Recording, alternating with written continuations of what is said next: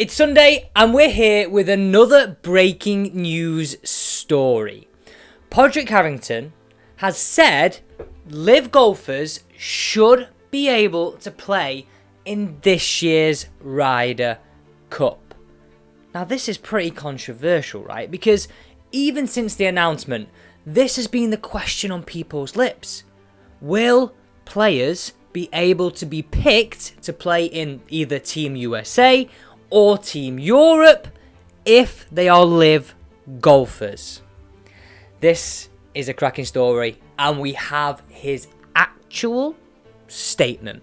So guys, welcome back to a brand new video here on Back 9 Films. This is your home of breaking news stories, and this certainly is a cracker for a Sunday. Now, first things first, what do you think on this matter? I want you to sort of take into account what Padraig Harrington says, and I guess my opinion as well. And at the end of the video, once you've sort of weighed up his speech and my opinion, I would love it if you get down in the comments and let me know what you think on this. So, first things first, let's just establish what players would currently be missing out. For Team Europe, we have Sergio Garcia, Ian Poulter, Lee Westwood, Paul Casey, Bernd Wiesberger, and Thomas Pieters. Now, I know a few of those have renounced their memberships entirely to the European Tour, so there's some murky waters there, but essentially, all of them are LIV golfers.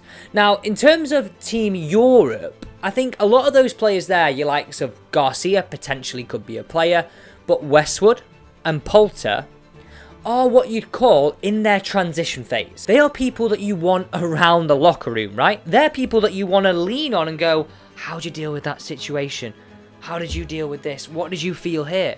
Because they have bags of experience. And that's the idea of vice captains. So whether they would play, probably not, but their influence would have a massive impact on the team. Okay, now Team USA. So first things first, we've got to include Brooks Koepka because he has played his own way into the standings winning the US PGA. But on Team USA's list would be Dustin Johnson, Bryson DeChambeau and Patrick Reed. Definitely three players that I would want in my Ryder Cup squad. Bags of experience, feistiness, definitely people you want in your squad. Now, based on them there, right, so those players that I mentioned, whether it's Team Europe or Team USA, what players I personally would, in some capacity, include? So I would go, probably not playing. Yes, okay, so I'd have Sergio Garcia playing, in my opinion. I'd have Poulter possibly playing, but I'd definitely have Lee Westwood around the team.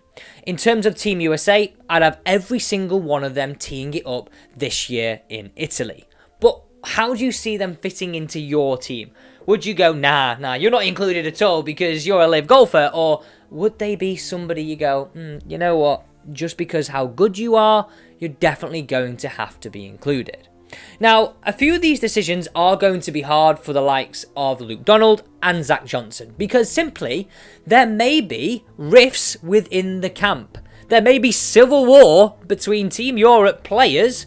I mean, Rory said some pretty bad things over the last 6 to 12 months in terms of if you're a LIV golfer, and I'm sure a lot of the players wouldn't really like what some of the other PGA Tour stars have been saying. You've also got to think of the impact, right? The impact of what was announced about two and a half weeks ago. That LIV golfers, after accepting all their money, are now going to be allowed back next year. I guess it's still murky waters, we don't quite know. But there could be civil unrest there in terms of like it would maybe affect the four balls, maybe affect the pairings, maybe affect how other people play. And we've had very, very vocal people come out over the last 12 months saying they shouldn't be included. Now, I've made my opinion totally clear at the start of this video and totally clear with everything to do with the Ryder Cup. I just want to see the best players play from day dot. That's all I want to see. And I'm sure as a golf fan, as a golf fan, that is what you want to see too. Like, I want to see that showdown, DJ or Brooks versus Rory. I want to see Patrick Reed take on Rory. I mean, what a match that would be. What a match. Everything that happened at Teegate, everything that's happened during the season, those two going up against each other, that would be absolute box office. Okay, so you've heard my opinion, but let's get into what multiple major champion Padraig Harrington has said exactly. So Padraig Harrington said this. I think the Ryder Cup is going to have the LIV players back. They definitely warrant consideration. They're good players. To suggest they aren't players capable of being in a Ryder Cup player over a live would be silly. A couple of them at this stage are in their last hurrah, but not all of them. Luke's got to pick his best team at the end of the day. So he's sort of got to be in the know, right? He's been in and around the Ryder Cup scene. He's been in and around everything to do with the tour. If he's leaking this information, if he's saying, I think they're going to be included, I'm going to take that as I will not be surprised. And I definitely, definitely, definitely think players that are on Team USA will definitely be included. I know, like I say, the waters are a little bit murky for the likes of Poulter and Westwood because of what's happened. But isn't that interesting, right? I think this could be one of the best Ryder Cups to date.